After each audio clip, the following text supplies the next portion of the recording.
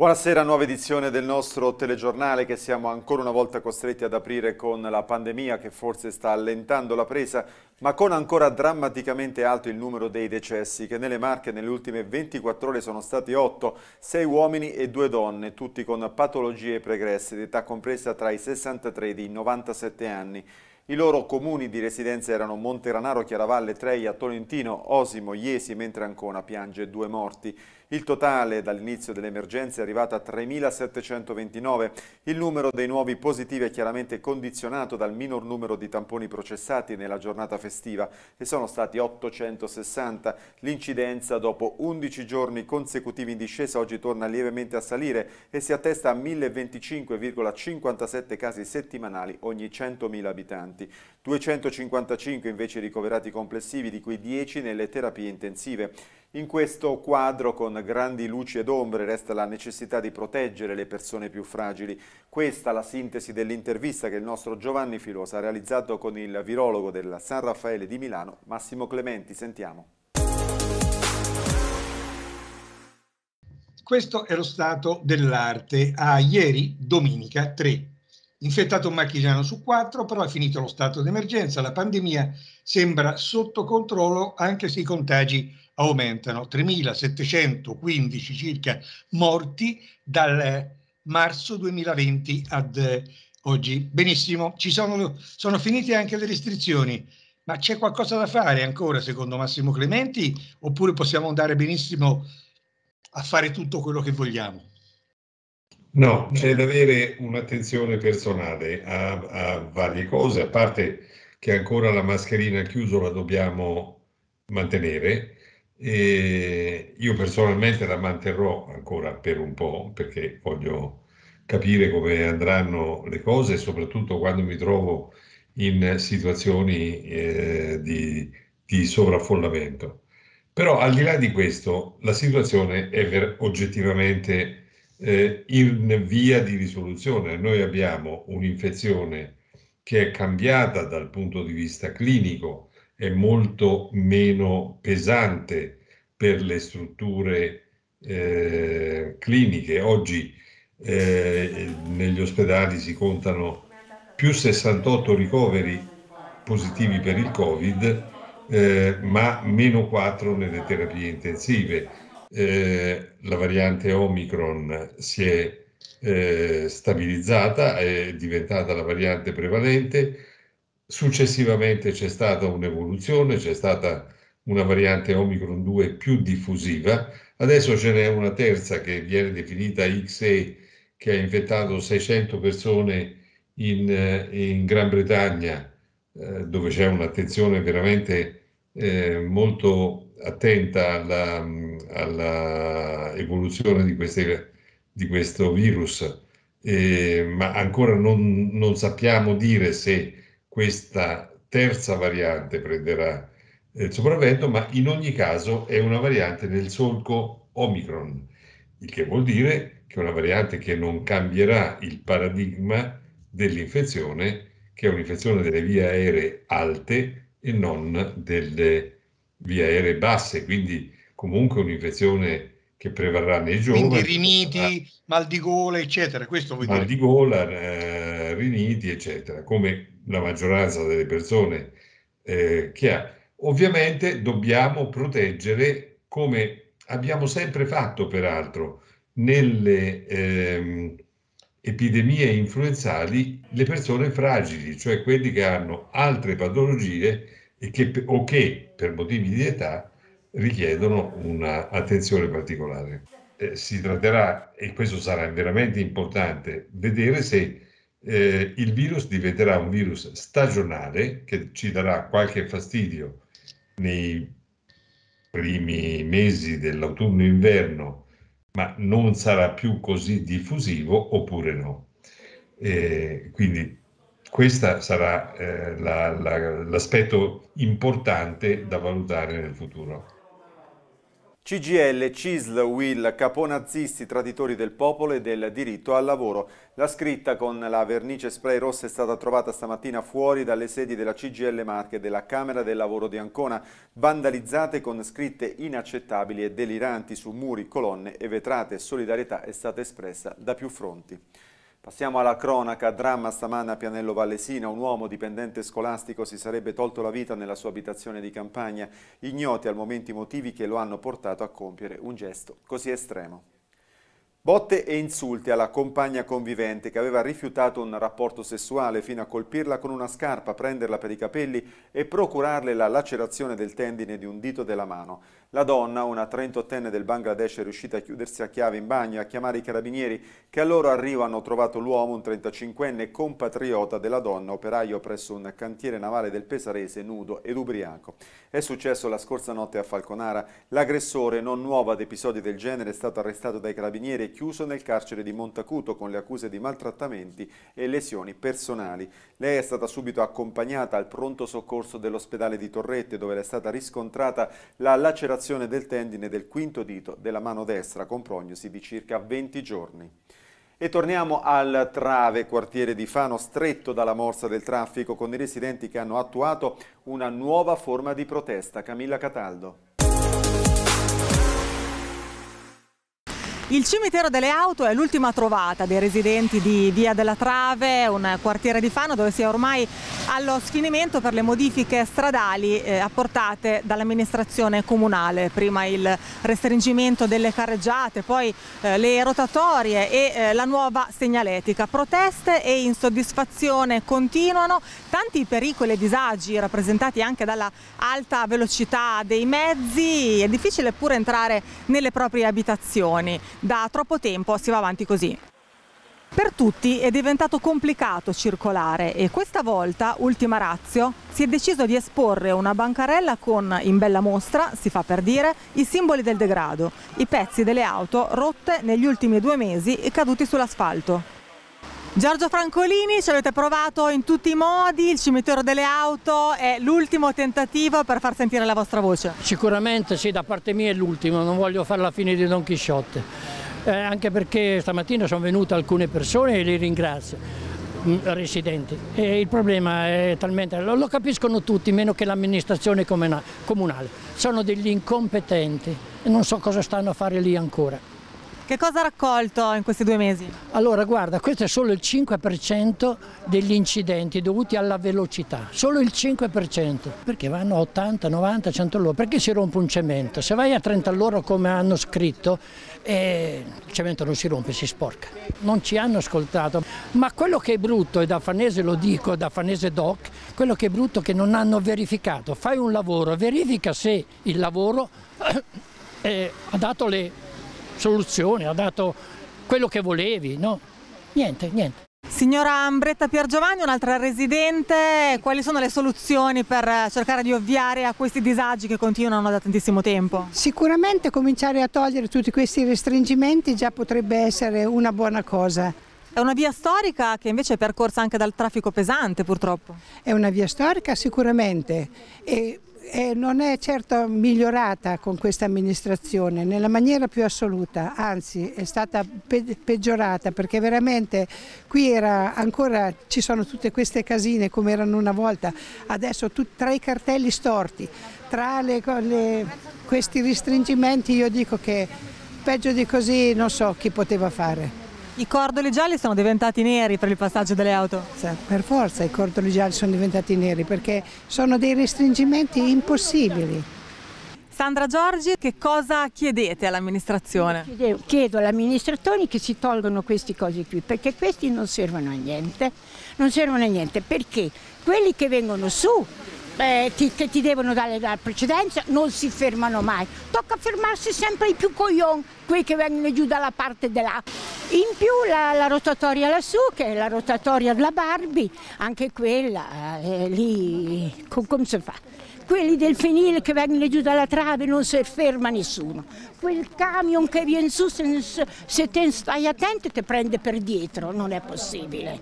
La pista che vogliono fare gli interquartieri, anche quella malade vogliono rovinare. Quanto un bambino va a giocare, va a fare un giretto in bicicletta, no? I nipoti ce l'avrà il sindaco, ce l'avrà l'assessora, quanti è cresciuto il bambino. E, e un bambino non ce lo puoi più mandare. Perché? Perché passa un camion e porta via.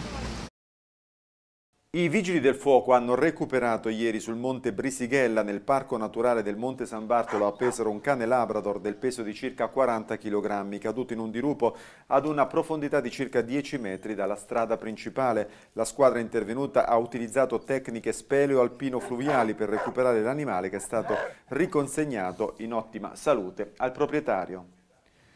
Dopo aver contattato telefonicamente la vittima, titolare di una rivendita di sali e tabacchi, qualificandosi come sedicente dipendente della società lottomatica, era riuscita a farsi accreditare sulla propria carta PostPay la somma di quasi 6.000 euro. È solo una delle truffe online scoperte dai carabinieri della compagnia di Ancona. Al termine di un'attività di indagine hanno denunciato in stato di libertà per il reato di truffa cinque persone, tutte residenti in altre province, di cui quattro gravate da precedenti di polizia. In tre distinti casi le persone denunciate hanno usato la stessa tecnica, simulando di voler procedere all'acquisto di alcuni beni posti in vendita su un sito internet specializzato.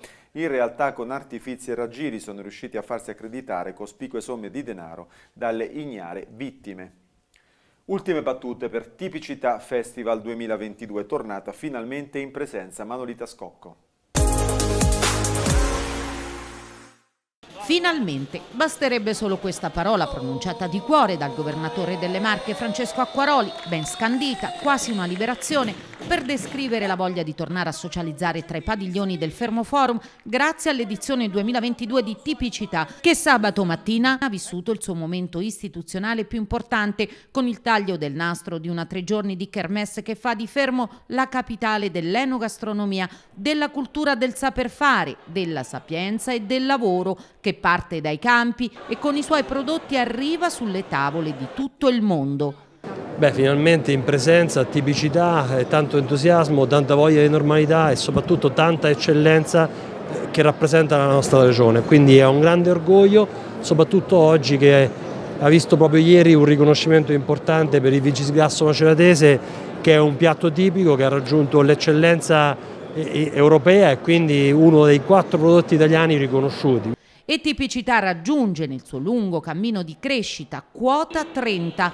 Tante infatti sono le edizioni del più importante evento enogastronomico su scala locale, ma che nel corso degli anni ha acquisito valore anche a livello internazionale ancora una volta tipicità e quest'anno non era affatto scontato, ha fatto centro riportando non solo il grande pubblico in fiera ma riallacciando quei rapporti che per oltre due anni sono stati in piedi solo grazie alla professionalità e alla caparbietà degli ideatori e organizzatori. Sì, finalmente ci siamo, l'abbiamo aspettato tanto questo momento, è stato particolarmente agognato e al di là del fatto che riprendiamo tipicità, riprendiamo la manifestazione, è un segnale forte di ripartenza che lo vediamo sia nei presenti, negli espositori che hanno riempito questo padiglione, ma lo vediamo anche nella gente che ha voglia di ripartire. Ancora brevi di cronaca per soccorrere una donna caduta in casa e rimasta bloccata per due giorni. I soccorritori hanno dovuto letteralmente aprirsi un varco tra gli oggetti accumulati. È successo ieri sera ad Ancona in un'abitazione di Corso Carlo Alberto. Una volta ricevuta la richiesta di soccorso sul posto sono arrivate un'ambulanza della Croce Gialla, un'automedica del 118 e per l'apertura della porta vigili del fuoco e carabinieri. Una volta dentro però hanno dovuto creare un percorso all'interno dell'appartamento strapieno per raggiungerla. La 65enne è stata trasportata a Torrette, le sue condizioni non sono gravi. Tre adolescenti anconetani, tutti sotto i 14 anni, sono stati identificati come i responsabili dell'atto vandalico commesso sabato pomeriggio ai danni del pallone geodetico di via Scandali a Camerano, fatto oggetto di un violento lancio di pietre proprio mentre all'interno si stava disputando una partita di pallavolo. Il branco di ragazzini è scappato ma è stato bloccato dagli agenti della municipale. Essendo minori, le famiglie sono state contattate e messe al corrente dei fatti.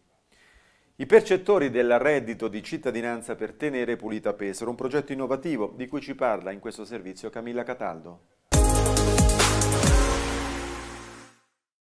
È una delle prime iniziative in Italia, quella lanciata dal Comune di Pesaro per eh, il progetto Teniamo pulita la città e valorizzazione verde pubblico.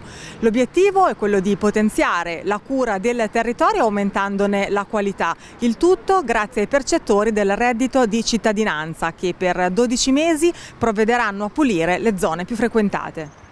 Si va a incentivare il lavoro di Marche Multiservizi, supportandolo. È importante essere attivi per la comunità. La città è patrimonio di tutti. Tutti contribuiscono a renderla più bella e vivibile. È un lavoro di squadra. Assessore Enzo Belloni, quanti sono i pesaresi impegnati in questo progetto e in quali zone operano? Allora, noi siamo partiti qualche settimana fa con una delibera di giunta per richiedere 51 unità di percettori del reddito di cittadinanza. Il nostro obiettivo è quello di collaborare assieme ovviamente al, al, al centro operativo comunale, all'Aspes, a Marco Multiservizi per rendere la città eh, ancora più pulita. È un progetto appunto ambizioso che eh, ci eh, vedrà mettere in campo da qui ai prossimi mesi 25 squadre composte da due elementi ciascuno che, eh, ognuna delle quali avrà in cura un pezzo di città. Le prime due squadre partite sono quelle che eh, lavoreranno in zona Parco Miralfiori, e, mh, sotto Passo dei Cappuccini e Monumento della Resistenza fino all'ospedale. Eh, sono squadre che lavorano in coppia perché eh, il loro impegno è per otto ore settimanali, quindi oggettivamente saranno impegnati lunedì e giovedì una squadra, martedì e venerdì l'altra squadra. Subito dopo, dopo, Pasqua entreranno a regime altre 5 squadre e saranno impegnate in prima battuta sulla zona del centro mare, e Soria, e Baia Flaminia e Porto, quindi le zone dedicate al turismo e andando avanti poi avremo anche gruppi di lavoro che interverranno su, a rotazione sui vari quartieri. È un lavoro difficile reclutare il, mm, i percettori del reddito di cittadinanza perché ci sono colloqui, quindi c'è un'interazione tra job, servizi sociali del comune che stanno facendo un lavoro, un lavoro egregio perché noi dobbiamo mettere sulla strada eh, uomini e donne eh, che eh, hanno le caratteristiche per fare questo lavoro, che è un lavoro non è, non è, difficile, però ci vuole come sempre eh, con il pubblico educazione e rispetto di tutti. Hanno delle divise riconoscibili fornite da marche multiservizi, è comunque eh, un intervento eh, di valore inclusivo per favorire la crescita personale e la socialità? Sì, devo dire che è anche un'opportunità forse per ritagliarsi un, uno spazio eh, nel, nel, loro futuro. Ci sono già alcune cooperative che ci hanno chiesto i nominativi di quelli che hanno aderito al, al, progetto perché magari visto che tutti cercano il lavoro ma molte aziende cercano lavoratori questo qui può essere anche uno strumento per eh, riuscire a mettere forza in campo quindi ridare nuove energie, speranze ai tanti che percepiscono questo reddito di cittadinanza.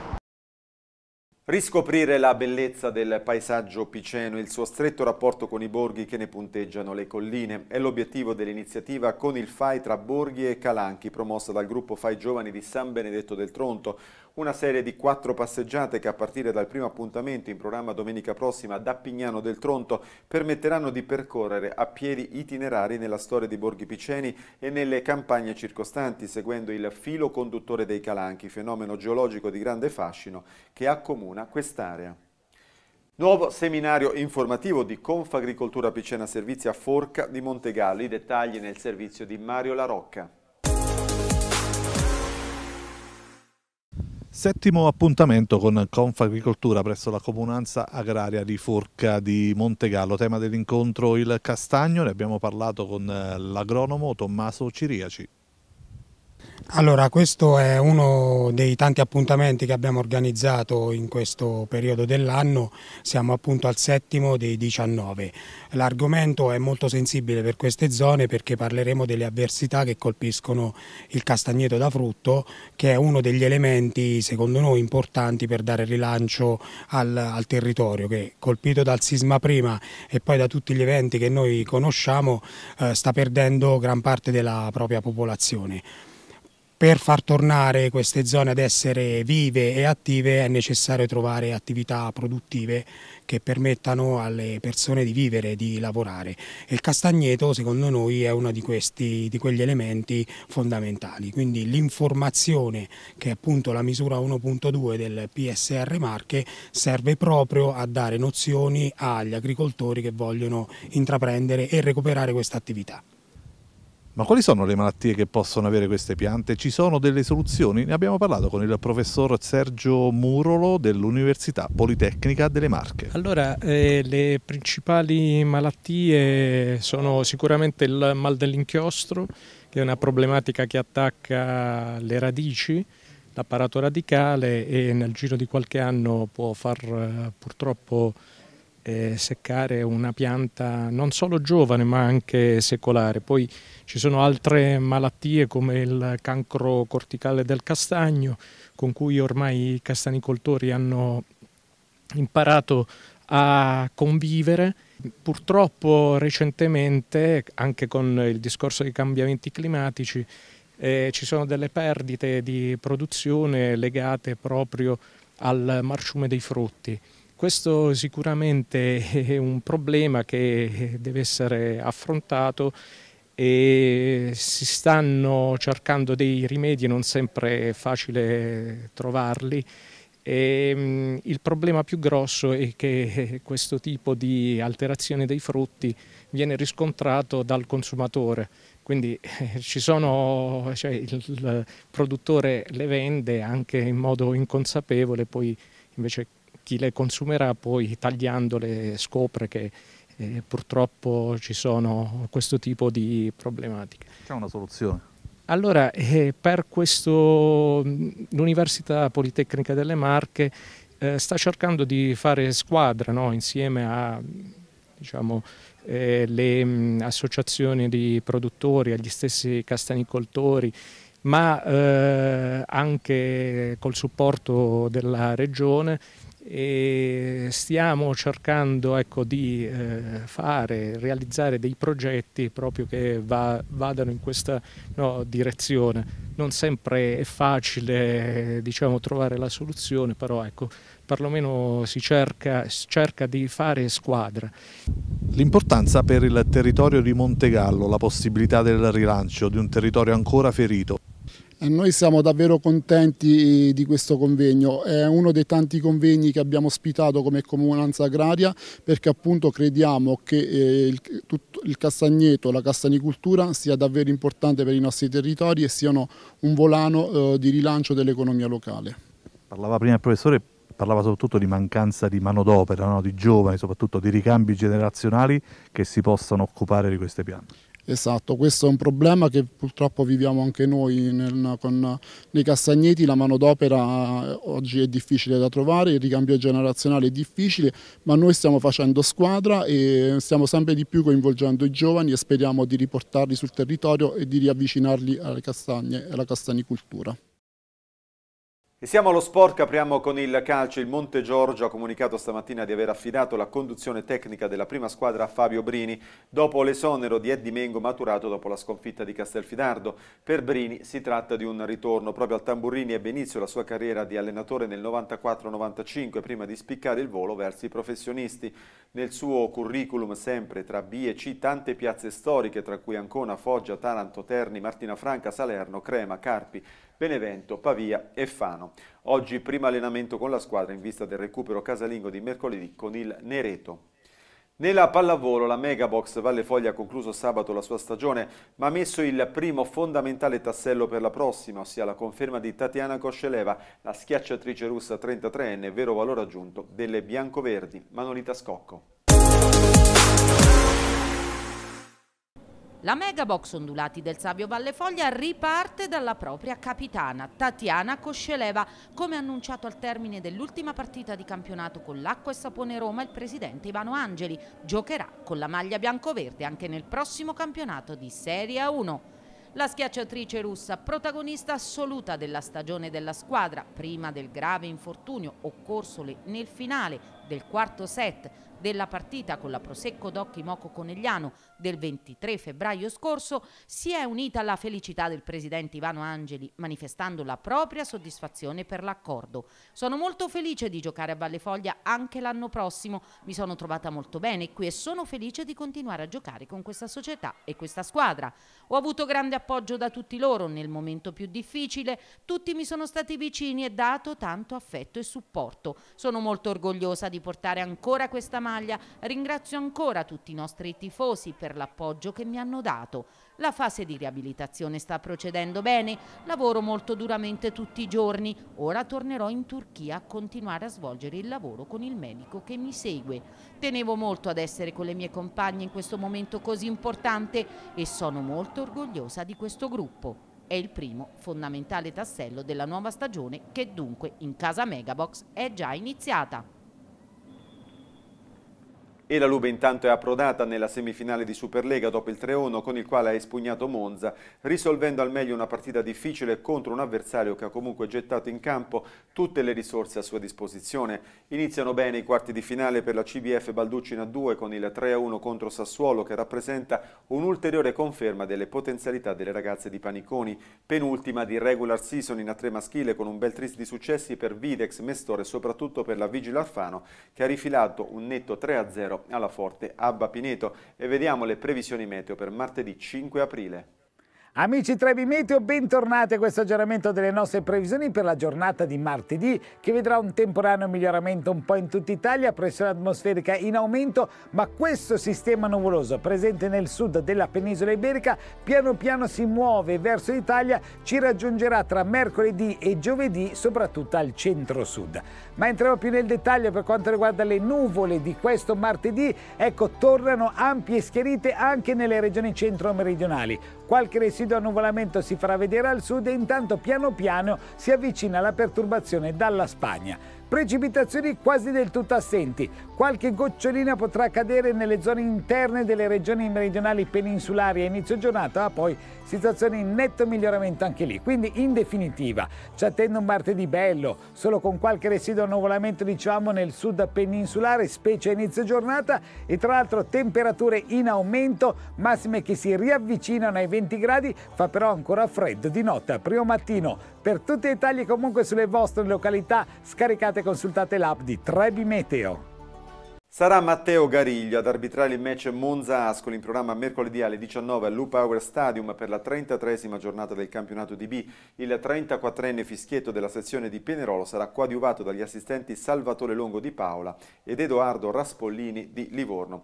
E nel basket l'impresa di sabato della Carpegna Prosciutto che è andata a vincere sul difficile campo di Tortona guadagnando due punti fondamentali in chiave salvezza potrà essere rivista questa sera alle 22 sul nostro canale 13. È tutto con il telegiornale, grazie per la cortesa attenzione, a domani.